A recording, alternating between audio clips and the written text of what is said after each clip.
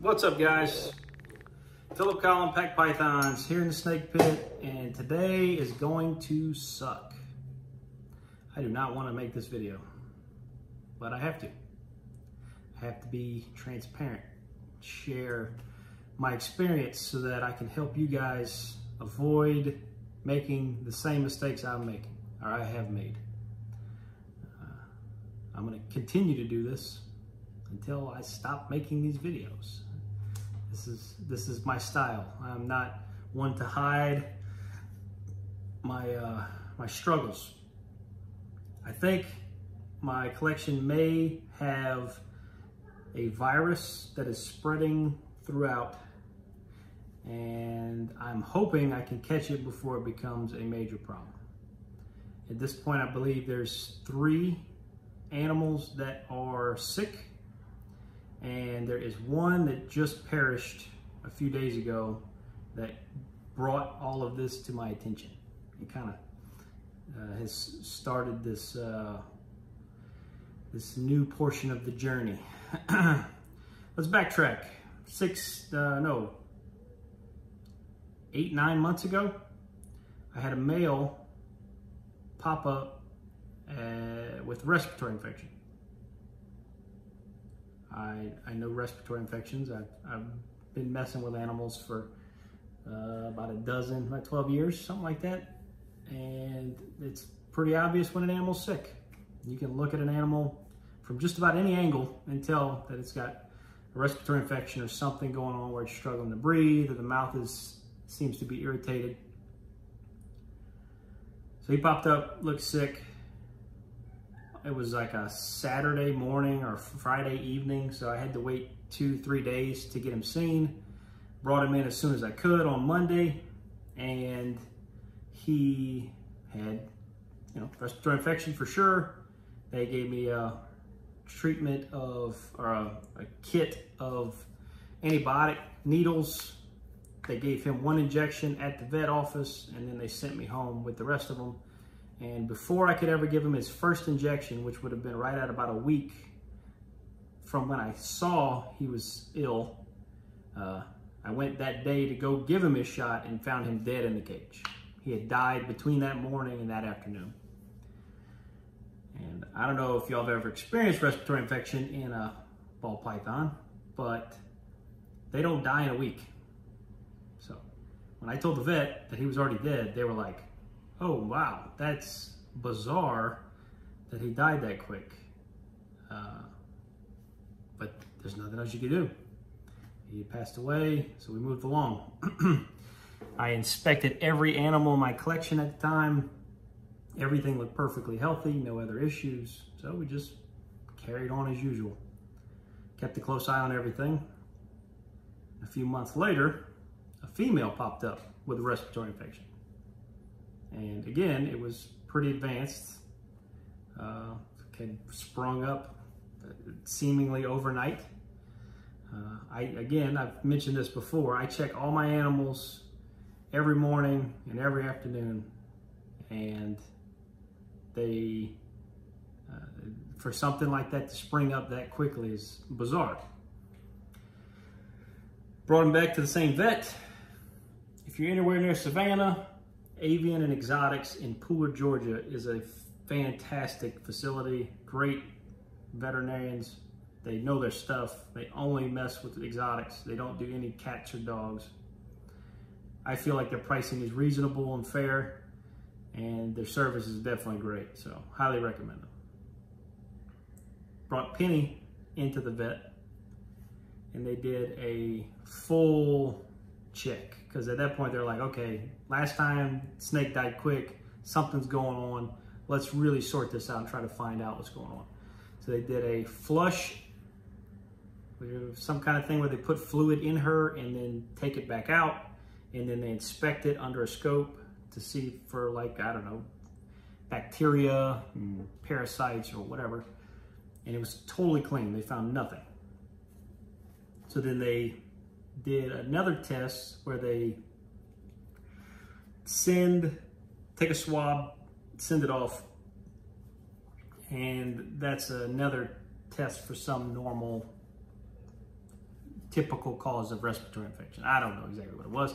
If I can find the paperwork that says what it was, I'm gonna put it right here. And if there's nothing right here, this is blank, then that means I couldn't figure it out. So sorry, I wish I had more information, but uh, they sent it off, took a few weeks for that to come back. In the meantime, they gave me a different type of antibiotic to try to treat her with. They gave her one injection at the office, sent me home with a kit. Every three days, I had to give her a shot. I gave her five or six shots before we got the results back from the test. Those results came back negative again. So still no clue what was going on. We, uh, at that point, the vet asked how the treatment was going, if she was improving. At that point, she hadn't improved, she hadn't gotten worse, so no change in conditions. She was completely isolated for that whole two, three week period. And at that point, they said, well, uh, stop doing the antibiotics because they should have helped by now. And if they're not going to help, then don't keep treating her. Don't overload her her immune system for no good reason with uh, antibiotics antibiotics that she doesn't need. Uh, so at that point, if it was anything else, there, there's no treatment for whatever it could be, potentially. Uh, I was suggested to keep her in quarantine, maintain high temperatures, continue to feed her as normal, and that hopefully her body could overcome it on her own. That's basically the only treatment if it is something that's potentially, let's say, viral. At that point, that's what we were thinking. Um, there are tests that you can get to test for specific viruses. Uh, at the time, I, I, feel like she recommended a web. She recommended the website, and I went to the website and couldn't sort out how to buy it or which one I needed or whatever, and probably was busy at the time. I don't remember exactly what, but it was basically just you know pay to find out which virus she had, but it wouldn't help because she couldn't be treated anyways. And again, she was the only one that seemed to be ill. So I just was hopeful that she would overcome it. And after about a month of being in quarantine, after we stopped the injections, the respiratory infection did clear. She was back to normal, back to uh, nice clean mouth, totally seem, seeming totally healthy. And we left her in quarantine for, I think, two more months. She was in quarantine for three or four months total. It was a long period of time where she was completely by herself. And I'm not saying quarantine as in my quarantine rack. She was in my room in a enclosure fully by herself uh, to avoid any kind of cross-contamination or whatever. Well, after an additional month, after she appeared healthy, waited another month, she still appeared healthy. She got brought back into general population, and that's where she's at now. And then we thought, again, we were, we were past it. So fast forward another three or four months, and a few days ago, one of my adult male breeders passed away, and that was Mojo, my Mojave leopard male. Initially, I never saw any respiratory infection signs from him. None at all. And he had stopped eating for because we were breeding him, which is normal. And he hadn't stopped breeding for or eating for that long to the point that he was malnourished or anything like that. Uh, so it just seemed kind of random. I assumed my first assumptions were that it had could have had something to do with my heat setup that we just transitioned from, where we were predominantly on uh, ambient temperature. And the reason I suspected that is because there was uh, there was a little bit of temperature fluctuation that I didn't have control of. This AC unit is really good It does maintain very well, but the problem is, is that it can only be on heat or cold. So on a cooler day, the AC doesn't help keep it warm. So if I'm not in here every single day, checking the temperature for the day and adjusting the settings even throughout the day, then it could get too cold and the AC might still be running, or it could get too hot and the heater's still running or whatever. So it wasn't, it's not a perfect system. It, I maintained it as best I could, but I'm going 14, 16 hours a day. I can't sit here and babysit the, that all day long, which is why as quickly as I could, I got on this, I got to repairing the back heat and all that stuff. Um, so thinking that it was the heat, maybe the temperature fluctuations caused him to get sick and that caused him to pass away. I wasn't exactly sure. He never really showed any obvious signs of being ill.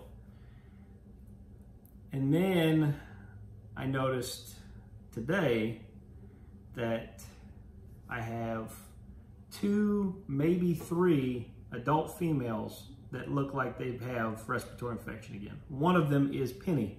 Again, is showing signs of having respiratory infection. Not good. So now I've got one animal, well, one animal died eight months ago. Another animal died two days ago. One was sick six months ago and is now sick again. It's a mess. And then at least one or two more that look like they're ill. Now, uh, if this is nidovirus, there's a test for it. I ordered the test kit today. It is on its way. I'm going to test, uh, I'm going to look through my whole collection. Anything that looks ill, uh, I'm going to set up a quarantine for. And I'm going to find whichever one looks the most ill probably Penny because I know she had it or she whatever's going on she had at some point. So there's a chance that she still had, it seems like she would still have it. And if that's the case, then I want to test her and see if it is nidovirus. If it is, there's basically nothing I can do to treat them. I'm gonna have to quarantine anything that I find that's ill. And until further notice, I am stuck and forced to assume that any one of my animals could be asymptomatic in carrying the virus, which sucks. So, uh, all these animals that I just bought to keep some and resell some, uh, I'm stuck with. I fortunately can afford to feed them. It's not a, it's not a big hit to me. Uh, it's not a big deal. Uh, it's unfortunate and it's it's inconvenient and it sucks, but other than that, I'll be all right. Uh, where do we go from here? Quarantine, whatever we can. We treat, uh, well, we can't treat, but we test and hopefully sort out exactly what's going on. Even if it is nidovirus, I'd rather know than not know continue to lose animals. And we go into lockdown mode until further notice. And we hold on to everything and wait and see which animals make it. Hopefully they all do. And if any perish, then that's just the natural course of things, unfortunately. So, huh, if you ever